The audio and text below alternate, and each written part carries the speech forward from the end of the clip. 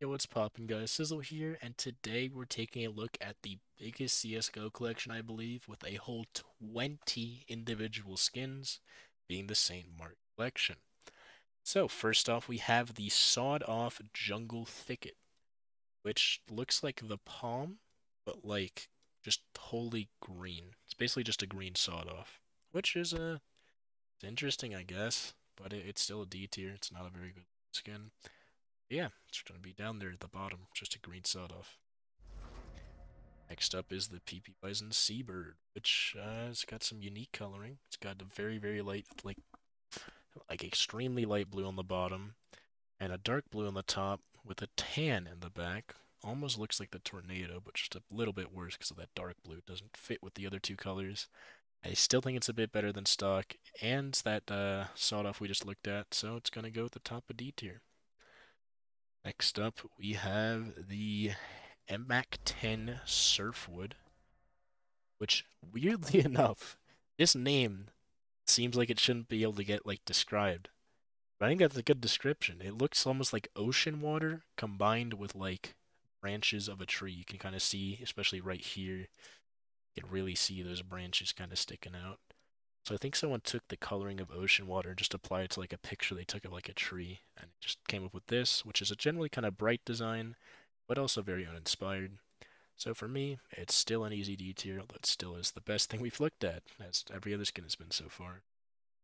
Uh, next up is the MP5 SD Bamboo Garden, which is, uh, yeah, it's an MP5 covered in like bamboo trees, I guess. I guess that's what these are. They look more like palm trees.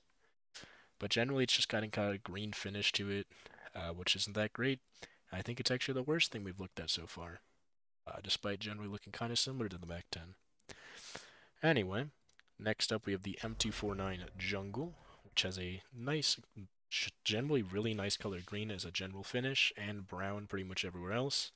It's definitely a very generic skin, definitely a D tier skin, but I can't really say it's particularly bad, so I'm, I'm going to put it pretty high, probably right below that Mac 10. I think the Mac 10 was a little bit nicer, just barely. Uh, next up, we have the M4A4 Dark Blossom, which covers the entire skin. That's a big plus. And it's got like a dark blossoming kind of pattern going on. I guess that's a way of describing it.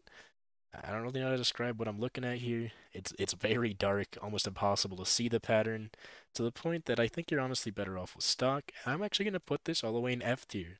Despite not looking bad, I would just recommend sticking to stock. I don't think it's worth getting. It's just not good enough on its own. Then we have the XM1014 Banana Leaf. Um, it has leaves. Don't know where the banana comes in though. I guess it's a bit more yellow than the standard green leaf, but just a bunch of like leaves from like a jungle. It's definitely a little bit better than stock and sawed off, but that's about it.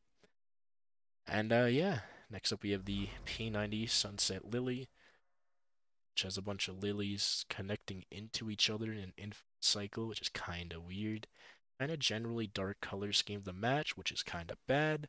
And the front is super scratched up, as a lot of P90s kind of are, which is really unfortunate.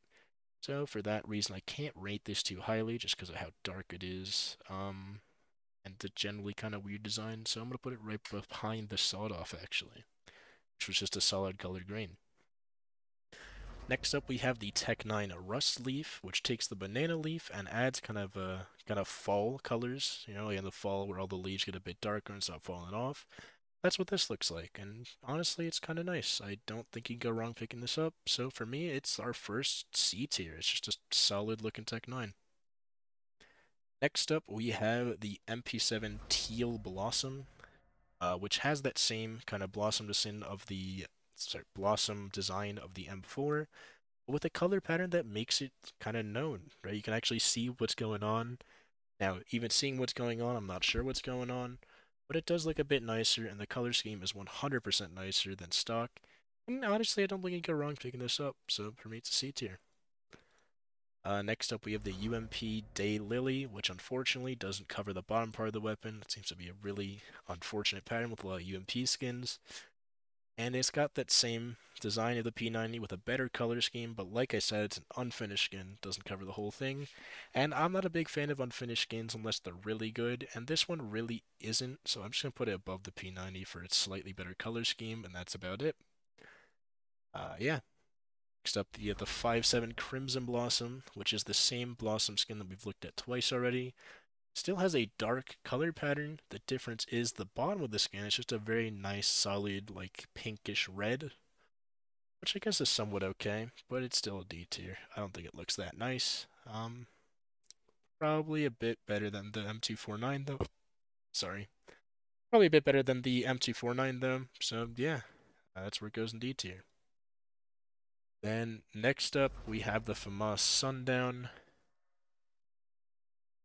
yeah, I don't know what this is. It's like the palm, the palm leaf design or whatever it's called, uh, except with more, I guess, vaporwave-esque colors. It's got like a darker purple leaf with blue pink for some reason, and then like a fence. I, I got no clue what they're going for here, and I think it's only barely better than stock. I think it's one of the worst things we looked at so far. Uh, next up, we have the Glock 18 Synth Leaf, which is that same banana leaf pattern with a more synthetic kind of vaporwave color scheme, uh, which I don't actually think looks better than the other leaf that we looked at, but I think it still looks somewhat okay. So I'm going to put it right after that 5-7. I think that's a good place for it. Still think it's a D tier skin. I don't like it that much. Then we have the AUG Midnight Lily, which uh, is actually kind of dope, dude. It's got a holo effect on all the other fucking lilies. I high key want this just because, yeah, the sheer amount of holo going on, dude. This just looks dope.